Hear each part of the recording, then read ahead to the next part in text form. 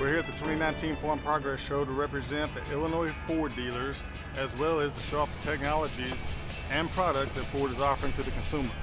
For the Progress Show, we brought the F-150 with us, number one selling truck for over 42 years straight running. This particular one, the model we have behind us is a 5.0 V8. We also brought an Expedition Limited, which the ladies love, all the kids around. We have a Super Duty 6.2 gas engine, and we also have the brand new 2019 Ranger with a 2.3 liter four cylinder EcoBoost different consumers require, they have different needs. In the F-150, we do offer six different motor options. The first being a 3.3 liter, the second being a 3.0 Power Stroke diesel, which is new in 2018. The third being a 3.5 EcoBoost twin turbo.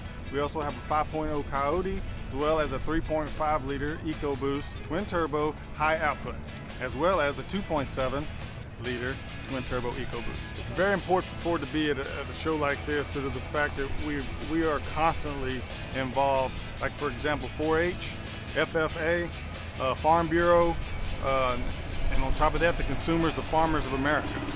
Our products are used throughout you know, the grain industry, you know, on the farm daily.